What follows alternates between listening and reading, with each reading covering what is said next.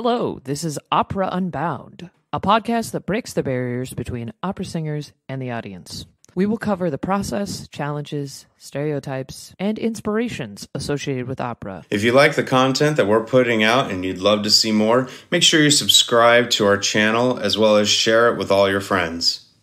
Welcome back to another episode of Opera Unbound. Today, we are giving you a scoop of the funny, unfortunate, and sometimes quite embarrassing stories uh, that happen in performances. Uh, Mike and I are each going to tell some stories, and I don't know, you want to go first? Sure. Um, well, first of all, let's back up. We had planned to record a different episode w- before doing this one, but then this thought came to me like, why don't we just tell stories? You know, because we're so focused, legitimately and for good reason, on the accessibility of opera. We are talking about how it relates to a lot of people and making it fun and all that stuff. But there's just some things that that you just need to talk about that are just hilarious. And I almost feel like this is one of those things. I mean, it's not like we're super experienced, like 30 years in the business, but we've been around the block more than once. And uh, funny things happen. And who doesn't like telling you, you know stories of their past. And so i felt like this would be a fun thing. So let's first talk about an embarrassing moment. Now as i've mentioned before um, i've done a lot of outreach tours uh, of opera to mostly elementary schoolers, which are a ton of fun and they're really valuable. And the very first one I ever did was with a company in Seattle, and we were doing The Daughter of the Regiment. And my character was Hortensius, who is the Marquise's servant. And the Marquise in this show, while not a terrible person really, but she is the quote unquote bad person in the show. And because it's condensed down to, I think ours was like 40 minutes or so, there's a lot of um, storyline that needs to be spliced together through dialogue. And so the interlude between Act One and Act Two, even though we don't have an intermission, but musically speaking, for us, there is this scene where I'm um, switching the scenery around a little bit and also kind of filling in what what happened. Now, when we were rehearsing this, there was never enough dialogue to to do all of this. And so what I decided to do about 2 or 3 days into the show is I started to make up stories about how when I wouldn't do what the Marquise wanted me to do, she would send me off as a punishment somewhere. And so at the time, Frozen, the first Frozen movie had just come out. And it was obviously all the rage at the time with the kids. And so I thought, okay, this will be perfect. I'll link it to Frozen. That'll keep them engaged. So there was this one performance and basically the the shtick would go, yeah, so uh, you know the marquise when I do not do what she uh, she tells me to do, you know she does? She sends me off. Which the reason why I'm speaking this way is he's French. And it's a terrible French accent, but I think it's hilarious. Anyway, so it's like she sends me off. And you know what she did the last time? She sent me to the North Pole. Yeah, Pole. But you know who I met there? I met these two girls, Elsa and Anna. And they were like, Hortensius, let it go. And so they would laugh. And then we would move on with the thing. Okay, now at the end of each of these shows, we always had a Q&A, which is kind of a grab bag of questions when you're asking, you know, kindergartners through fifth graders about opera. And this one girl raises her hand and she stands up and she's very visibly annoyed, and we don't know why. And she puts her hand down as she stands up, and she just goes, like I could hear her exhale from like 40 feet away. It was that loud. Oh, yes. And she's like, you know that Frozen takes place in Norway, not the North Pole, right? and, and so, of course, I had to take that question because it's clearly directed at me, and also she probably didn't listen to re- the rest of the show after that point because she was so annoyed by the fact that I mixed that up. And uh, I was like, uh, actually, I did not know that. Um, thank you for correcting me. I will do more research next time I do stories that I make up for shows. Thank you. and Everybody else was just like, "Oh my god!" Like, really? Well, one, it's like, dude, why didn't you do the uh, the research? But also, oh man, he just totally ruined that girl's morning because he didn't have his shit together. Um, and I was like, wow, I got oh, And you now know that you're not smarter than a fifth grader. I am not smarter than a fifth grader. There is nothing more humbling than being owned by someone a quarter of your age. It's Oh man, it's uh yeah, it's it's pretty terrifying. it's brutal. Yeah, it, it was rough, but I made it through. So there's my embarrassing one for you. How about you, Rachel? Okay, so um, my embarrassing one, I think is is probably more cringy, embarrassing than uh, what you experienced. what was it? 2018 when we did the um, opera muse Carmen. Yeah, it was 2018. We did operas in people's backyards or living rooms through um, a group called Opera Muse. And we did a production of Carmen. And in this production, which Mike modernized, redoing some of the plot and, you know, like the the language so it connected more easily to modern audiences. Um, Carmen was a stripper, so she's still outcast in society. And she gets the opportunity to um, be like the main event on like the the big night friday saturday night whatever. So Yeah.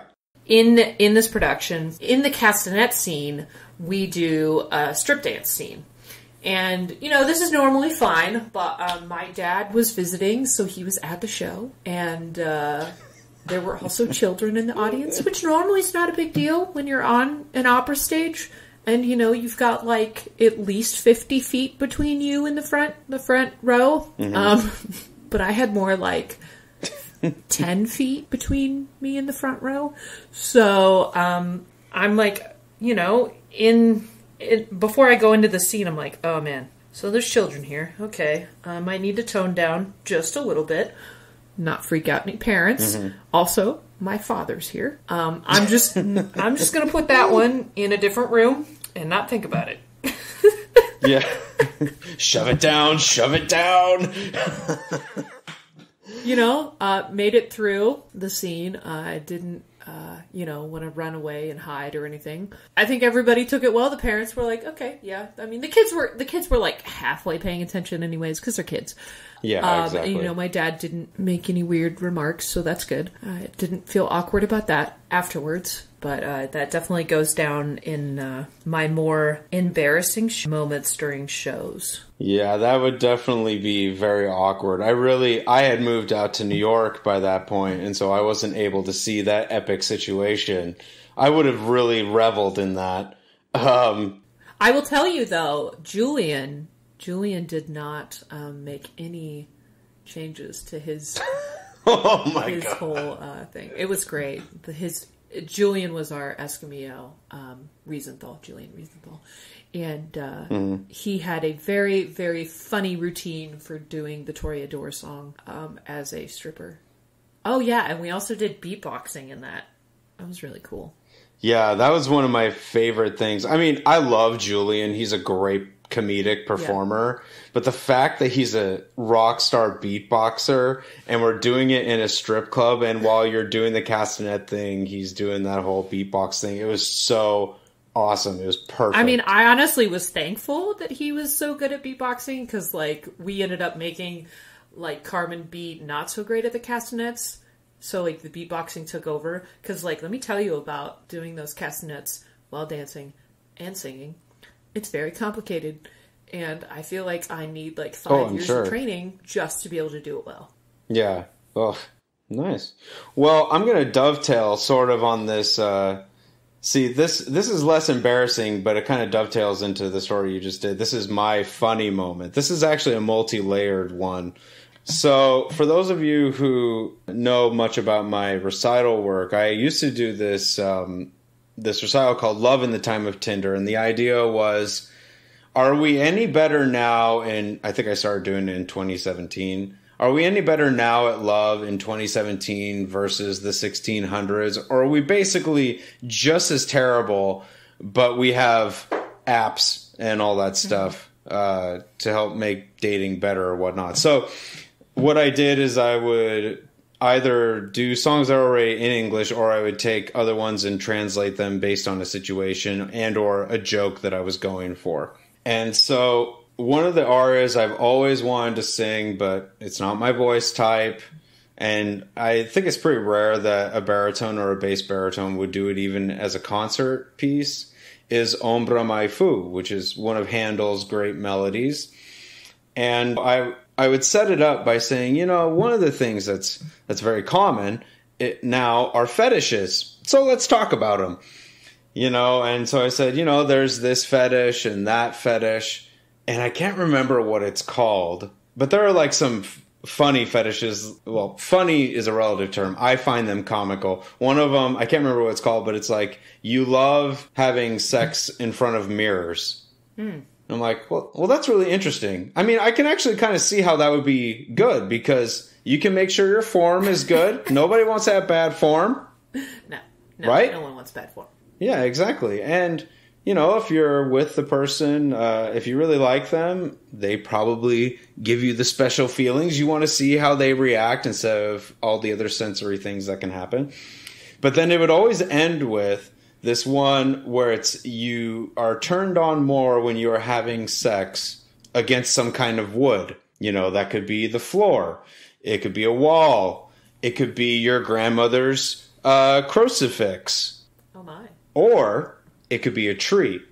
So in the beginning of Handel's Serse, Serse walks out and he sees a tree and he sings this beautiful melody that says, I love this tree. It's my favorite tree. It's so beautiful. Now, based on the information I just gave you about fetishes, is it that interpretation or is it, that's my favorite tree? Mmm, I love that tree. It's so beautiful. Throughout the course of the aria, I say I'll let you uh, I'll let you decide. I don't translate it, but I inflect it differently. The first half of it was pretty straight, and then the second half was as if it, had a fetish for the tree. Now, when I would perform this, as many of you know, most pianos are made out of you guessed it, wood. Oh boy. So I would then start to literally caress and eventually hump the piano because Serse's got a thing for wood that only a tree can provide.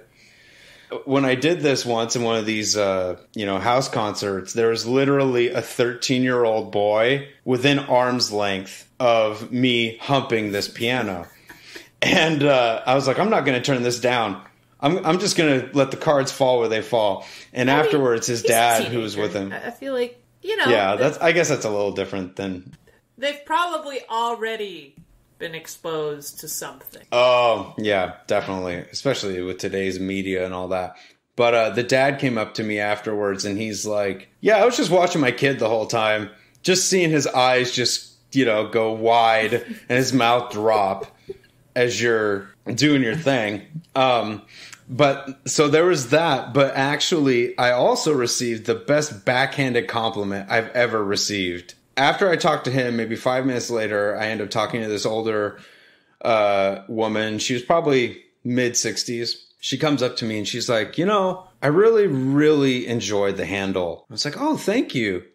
And she's like, Yeah, you know, it's such a beautiful melody. And now that I've seen it live for the first time, I want to go learn more about the show and hear other people do it. And so in my head, I'm like, that's great. This is the whole point of me doing these things. They're going to go research it. They're going to get more hooked to it. Boom, I've done my job. But then she says, and I want to do this mostly because I want to get the picture of you humping a piano out of my head and actually have the real interpretation mm. now in my brain.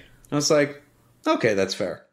Yeah, definitely go research that. It, it'll be uh, worth your while. Handel's great. And then she left. I mean, that could be like a, a really good uh, alternative way to get people more involved in opera. Yeah, well, that's why I do it. That's why I do all the crazy and stupid, quote unquote, things I do.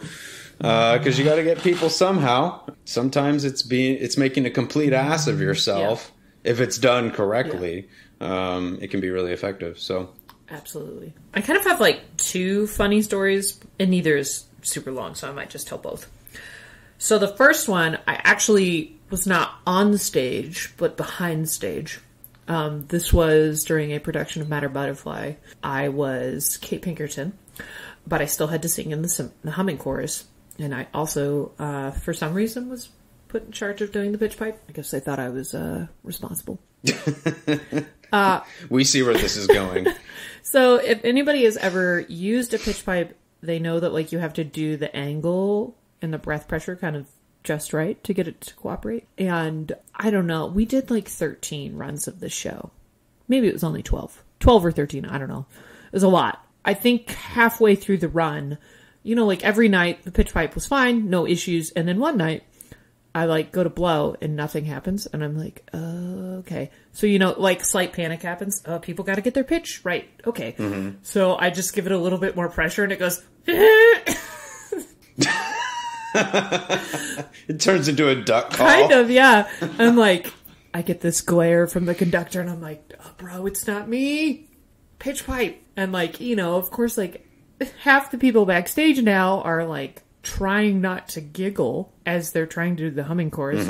Oh my and goodness. and you know so then it like became the the like running joke every time so like now every time we're backstage about to do the humming chorus you hear people giggling and having to collect themselves luckily Mm-hmm. it only happened once but it was i mean it was pretty funny honestly like things happen you can Oh, be yeah. mad about them or you can just be like yeah that that was that was funny I actually I didn't mention this when we talked beforehand, but I have a similar story. So I was in uh, college uh, in my master's. I was one of the TAs, and I was the assistant choir director of the the top choir. We were doing this alumni event.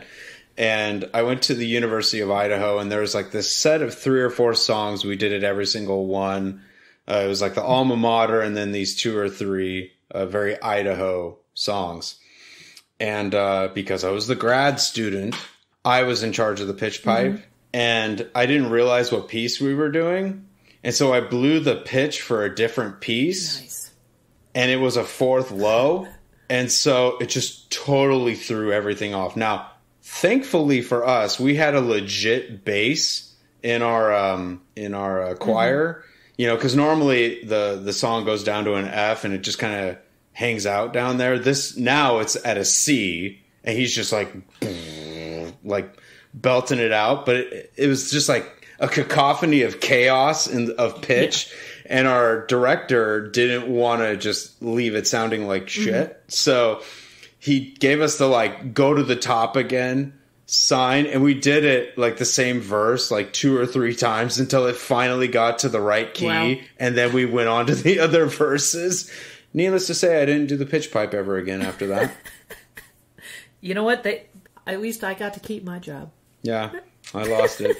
So Uh, the other kind of funny story I was going to tell. This one's pretty quick. So, my actual like first leading role was um, Mrs. Lovett in Sweeney Todd um, when I was at university at the University of North Texas. And um, in our production, we had a trap door in the middle of the stage that had a large metal loop as the like door handle latch thing, and um, it didn't get put down when they when they had opened it and closed it. They didn't make sure that the latch had fallen and i was doing worst pies in london and i was walking over to um, the sweeney that was in my cast and i almost face planted um, over over the ring um, which in itself uh, yeah probably really funny to people watching. But i honestly the part that's funnier to me is like how calmly the sweeney um, in my cast just he's like really tall guy. He's like over six foot tall. Just reaches his foot out and you just hear tunk so he knocks it down so that you know i don't actually faceplant or somebody else doesn't throughout the course of the show yeah, totally. Oh my goodness. yeah, goodness. it was it was definitely like a oh shit moment. It's all it was going through. Oh shit! Oh shit! Oh Yeah. shit. Um. okay. I guess now for the unfortunate stories. Yes. It's a little bit unfortunate it's, uh, that uh, sometimes we do need to bleed for our art. Yeah, that's right. I said. We got to bleed. We got to shed the blood. One of the, I would say, hmm, I would actually say the most impactful piece I ever did other than the ones that I wrote, because that's that's kind of unfair, because you know it has a special place when you write it. Right. But um, outside of that, I would say the most fun, but also the the most impactful show I've ever done was with Seattle Opera's outreach program, and the show was Cinderella in España. It was a modern version of Cinderella, and I was the prince. And at the beginning of the show, um, the prince is basically a man child who eventually comes to by the end. But in the beginning, he's just gotten uh, home from a night of partying and he's just kind of messing around and he falls asleep in a chair. His dad comes out with his servant or whatever and they're like, hey, let's wake him up. And so I'm sitting in this chair. The king comes over and he just yells like bah or whatever and it wakes me up and of course I fall out of the chair. Okay. Well, I would do this at least twice a day because we had two shows a day Mm-hmm. and I was performing it probably two or three times a week. And for whatever reason, I kept hitting my elbow when I fell out of the chair in the same place pretty much every single time. I that's towards the beginning of that scene. The scene's probably like 4 or 5 minutes long. Eventually, I go off stage and I'm going to change from my um you know, short sleeve shirt and shorts into a suit for the rest of the show. And I'm about to do that. And one of my castmates is back there and she's like, You're bleeding. I'm like, what? What are you talking about? And I look down and my arm is completely covered in blood. Like it looked like something from a movie, like that bad. Like I got I'm shot. honestly surprised there there wasn't a kid that like didn't interrupt the show. Oh, I know. Yeah, exactly. And or uh, my castmates, they didn't look at my arm at all to be like, you know, give me like a head thing, like, hey, look at your arm, Yeah. kind of thing. Because you have that like ESP thing Uh-huh. with your castmates sometimes. I look down and yeah, it's just blood everywhere. So she, uh, in this version, she's a waitress instead of you know helping her sisters with their stuff. And uh, so she actually took a bunch of the props and wrapped my arm um, and then I put my suit coat on and and the long sleeve shirt. And one would think that would be the end of it. Eventually, you put a a band aid on and it's fine. No, it took me like a month of falling and eventually getting to a point where I didn't bleed. It was because it just kept reopening and reopening. Yeah. Yeah, so uh, I can literally say I've shed blood for uh, for a show. I, I guess I'm pretty. I'm in pretty deep uh, when it comes to my love for the art form. I'm really willing to sacrifice my body. Uh, Got that whole blood, So- sweat, and tears thing going. yeah, it's it's literal. Yep. Uh, I I don't think I've bled for the arts on on stage. Um, So are you like even serious about this then? Like really? No, just I'm dead serious. dead serious. Oh, there you go. All right, I'll I'll let you go now. So um, I'm pretty. I have pretty bad eyesight. I can't, you know, legally drive without glasses, and um, honestly, I. It's funny. Like when I was in middle school, I I went through that whole phase, like that I refused to wear glasses because I wanted contacts. I'm really cognizant of that, and I. I when I have to do a show, I'm like, okay, I got my contacts in, like ready to go on stage because like you definitely don't want to be a safety hazard to yourself or your colleagues on mm-hmm. stage if you have bad eyesight. Unfortunately, I have made it all the way to the theater on a couple of occasions without my contacts, and usually you don't have time to go back home. Fortunately, nothing serious has ever happened. It's just like people have to lead me around backstage because it's just dark enough that I can't see things. And this one time we were doing this show um, with a storm scene. It was the Pearl Fishers, and there's a storm scene in it. So like people were usually like running all, all around stage, and it's pretty complicated music. So it's nice to be able to look at the conductor for cues and things, um, which Yeah. I did not get the opportunity to do uh, uh, during one of the performances for this show. it was Because you were because I was blind. blind. Yeah, I was like, well, hopefully I don't fuck up. Like I swear, Maestro, I am looking at your stick. I just can't see There's it. just- That's why I'm There's off. just three of them. Yeah, there's three of them. How do how am I supposed to know which one to look at? They all look the same. Yeah, we survived. Everyone survived, and yeah, I did. I did have somebody lead me around backstage just so I didn't fall on my face. That's funny. I, I, mean, I can honestly, thankfully say that I've never had anything horrendous happen on stage. Never had like a serious wardrobe malfunction, which I, I do know has happened to people. I've definitely tripped over whenever you have like really long skirts with trains. Like everybody trips on those. It, it just happens. Yeah. Yeah but never never anything serious and no major injuries. I don't know, were you in the production of Trovatore at Seattle Opera? No, I wasn't. Oh man, so like just quickly I'll tell this one too. During the production there was a cross that the duke would like knock over. Well, one time um, it was Michael Mays. He just did it with a little bit more gusto and uh, mm-hmm. and it actually fell into the pit.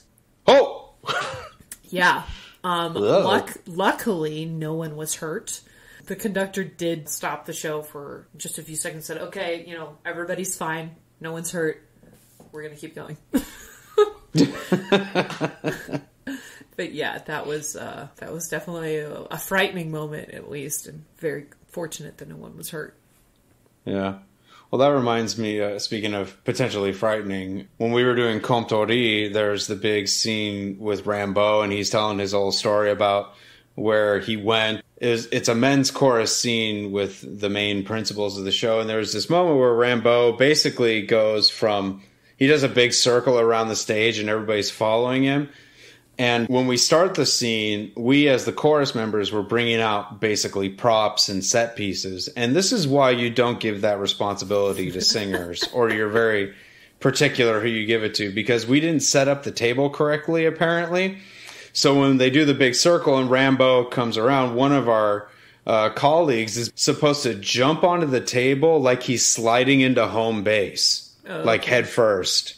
And because it wasn't set up properly, this whole thing falls to the ground. So we got fake fruit flying everywhere. Oh man. We have fake milk, which is actually water with white food coloring, which was really cool actually, now that I think about it, because you could see it in the glasses. Mm-hmm. Um, and uh, it's just going everywhere. And we're, of course, like trying to sing because it's a pretty active scene while also yeah. making sure that nobody's injured and thankfully no one was. But I bet the audience was like, "Wait, was was that supposed to happen?"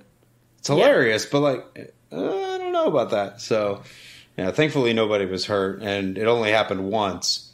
Oh, live theater! Crazy things happen on stage. Totally. I mean, even just stuff that uh, I think my favorite thing to watch is when performers, you know, a, a piece well enough, or you just know how performers are. You know that they're screwing up they and they are trying to get their way out of it. Yeah, I mean sometimes sometimes that's the best part of being a performer too though is like the recovery from a mishap. Oh, totally. Yeah. Especially I think it's harder in opera and musical theater because well, especially opera because if you screw up dialogue, it's a lot easier for your mm-hmm. colleague to just kind of jump in and maybe lead you back yeah. on. You can't do that in yes. opera. Like you have to make it work with the rhythm and and all this mm-hmm. stuff. And sometimes it it really just doesn't work uh, unless you're real crafty in the moment. Well, that I mean that's really all the stories I have. I don't know if you have any others you want to share. Uh, you know, I I think that's good for now. Um, we can always do another one of these later uh, or we could do a, a, a solo thing. So I think I'll I'll stop there. I have some uh, rather colorful stories that maybe I'll I'll tell another time. So Sounds good. I hope you enjoyed our show today. And, you know, it really helps us to spread the love of opera and breaking down those barriers. If you like, share, subscribe, get your grandmother, your grandchildren, your children, your children's children, yeah, their all, friends. Their friends they're like teacher's third cousin, 15th removed. Just get them all in there. Yeah, if you enjoy our show, just, just share it. That's all we ask. Thanks for listening to this podcast episode. For more information about the podcast or for extras, check out our Patreon page, www.patreon.com slash opera unbound. Ciao!